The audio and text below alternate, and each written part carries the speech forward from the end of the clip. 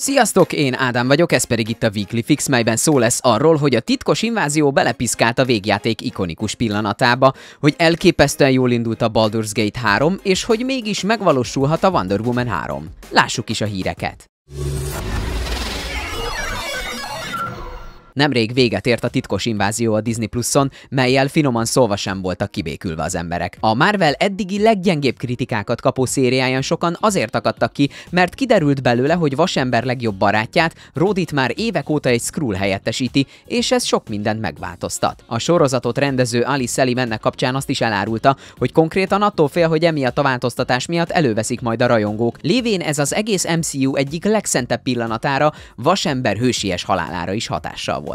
Nagyon aggódok, hogy halálos fenyegetéseket fogok kapni emiatt, meg azért is, hogy én írtam ki az MCU-ban Maria Hill karakterét. Szóval jelenleg bujkálok, nyilatkozta a direktor. Mint ahogy arra bizonyára ti is emlékeztek, Tony Stark a végjáték végén hősiesen elcsettintette magát, és az így felszabaduló erő perceken belül végzett is vele. Arra azért szerencsére maradt elég ideje, hogy szerettei, köztük szerelme Pepper, mentorátja Peter Parker és legjobb barátja Rodi is elbúcsúzzanak tőle. A titkos invázióból viszont kiderült, hogy az ott nem is a legjobb barátja volt, hanem egy Skrull, aki már az Amerika kapitány polgárháborúban Rodi helyére lépett. Ez pedig alaposan alássa a pillanatot, meg persze rengeteg más kérdést is felvet, például, hogy miért volt egyáltalán arra szükség, hogy ezt elhintsék. Miért jó ez, ha visszamenőleg megváltoztatunk kulcsjeleneteket ilyen mellékesen elszort, egyáltalán nem jelentőségteljes információkkal, no ezért kell Szelimnek bujkálnia. Kétség sem férhet hozzá, hogy az elkövetkezendő napok a belga Larian Studios játékáról, a Baldur's Gate 3-ról szólnak majd, ami elképesztően erős rajtot vett, pedig még csak PC-re jelent meg. Már a premier napján augusztus 3-án elképesztő sokan vetették rá magukat a D&D 5. verziójára épülő szerepjátékra, hiszen pár óra alatt több mint 472 ezer játékos indult kalandra egyszerre, pedig még előtöltési lehetőség sem volt, így a start pillanatában kellett leszedni a 122 gigabájtos telepítőcsomagot.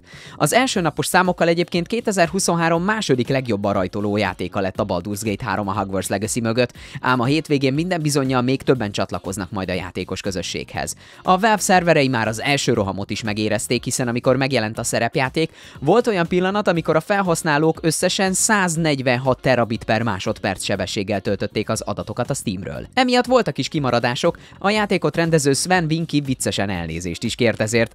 Egy, főként a Windows Defender és az Avast vírusírtó miatt keletkező mentési hibát leszámítva, ráadásul technikailag is simán indult a Baldur's Gate 3, ami természetesen a Twitch-et is leuralta. Volt, hogy közel fél millió ember nézett a játékkal kapcsolatos közvetítést, de minden bizonyal ez is csak a kezdet. A Baldur's Gate 3 PS5-ös verziójára szeptember 6-ig kell még várni, aki viszont Xboxon szeretne vele játszani, annak türelmesnek kell lennie, mivel a plegykák szerint 2024-re csúszott a port megjelenése, mert a Lariannak meggyűlt a baj a Series S-re történő optimalizálással.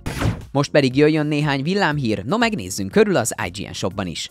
A kis hableány, az elemi, az Indi 5 és a kísértett kastély csalódást keltő mozis szereplése miatt a Disney akár 900 millió dolláros veszteséggel is szembesülhet csak ezen a nyáron. A stúdiónak igazából csak a Galaxy sörzői hármat sikerült sikerre vinnie, amit ráadásul az MCU újabb kvázi buktája előzött meg a Quantumania képében elképesztő eladásokat produkál a The Legend of Zelda Tears of the Kingdom. Június 30-ig összesen 18,5 millió példány talált gazdára belőle, amivel a Nintendo második legjobban rajtoló játéka lett a Pokémon Scarlet and Violet után, és két hónappal a megjelenését követően már is a Switch 9. legsikeresebb címe.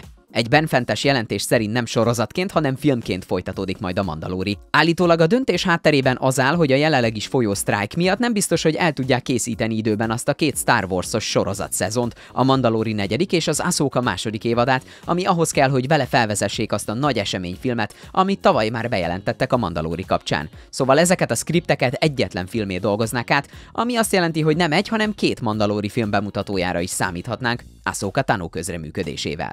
A Respawn Entertainment teljesen váratlanul bejelentette, hogy mégis elkészül a Star Wars Jedi Survivor PS4 és Xbox One konzolokra. A port fejlesztése jelenleg korai fázisban tart, így nem tudni, hogy mikor jelenhet meg. Minden esetre a csapat azt ígéri, hogy közben a jelenleg piacon lévő változatokat sem hanyagolja el, hamarosan érkezik a játék következő frissítése.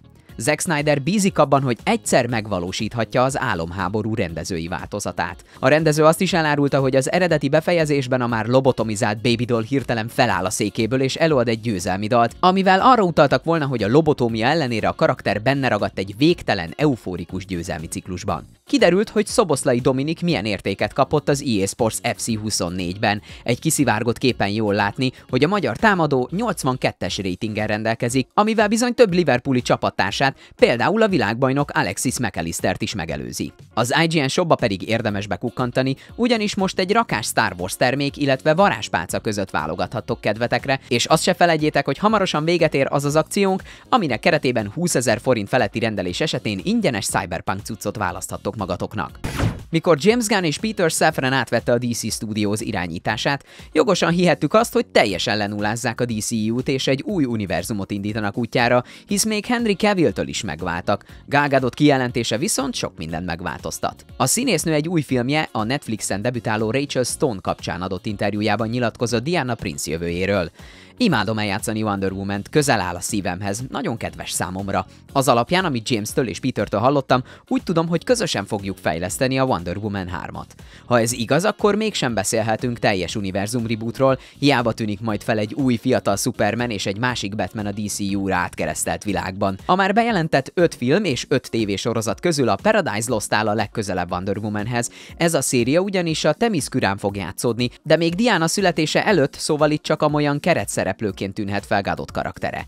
Minden esetre azért még várjuk meg, hogy ezt a hírt Gunn és Sefren is megerősítsék, ugyanis Gadot saját bevallása szerint nem nagyon követi jelenleg a DC filmek fejleményeit, még arról se volt tudomása, hogy David Corenswet kapta meg Clark Kent szerepét a Superman Legacy-ben. Az biztos, hogy ha lesz is Wonder Woman 3, azt már nem Patty Jenkins rendezi majd, aki többször is találkozott Gunnékkal, de úgy tűnik nem sikerült megállapodniuk egy közös projektben. A Sony folyamatosan azon dolgozik, hogy szoftveresen jobbá tegye a PS5-öt, a legújabb rendszer frissítés pedig nagyon hasznos funkciókkal bővíti majd a konzolt. A gyártó néhány országban már elérhetővé tette a PS5 legújabb rendszer frissítését, aminek legnagyobb újdonsága, hogy a szoftver telepítésével a konzol támogatni fogja a HDMI-s Dolby Atmos készülékeket, így például a hangprojektorokat, a televíziókat és a házi mozi rendszereket is. Ez azt jelenti, hogy a PS5 Tempest 3D hangtechnikáját ilyen berendezésekkel is élvezni lehet majd. Az update másik fontos eleme eleme, hogy lehetővé teszi a 8 terabájtos M2 SSD tárhelyek használatát, eddig ebből a 4 terabájtos volt a maximum méretű. Szintén sokan örülhetnek annak, hogy a PS5 bekapcsolási hangját ki lehet majd kapcsolni az új rendszer szoftvernek hála, de persze számos fontos kisegítő lehetőség is helyet kapott a frissítésben. Például lehetőség nyílik arra, hogy ugyanahoz a PS5-ös profilhoz egy második, kisegítő kontrollert párosítsunk. Vagyis két játékos egyszerre tudja majd ugyanazt irányítani, amit általában csak egy felhasználó szokott. Ez akkor jöhet jól, amikor például egy hátrányos helyzetű játékosnak vagy egy gyereknek szeretnénk segíteni átjutni egy játék különösen nehéz részén. A frissítésnek még csak a beta változata él pár országban, de valószínűleg nem kell sokat várni arra, hogy hozzánk is eljusson. Ennyi volt a Weekly mára, köszönöm a figyelmeteket, de ha már itt vagytok a csatornánkon, akkor ne felejtsétek el megnézni azt a toplistánkat, amiben borzalmas játékokat gyűjtöttünk össze, amik népszerű filmek alapján készültek el, na meg azt a videónkat se, amiben összeszedtünk egy rakás érdekességet a megalodonokról. A jövő héten is a szokott időben érkezünk a Weeklyvel, addig is, sziasztok!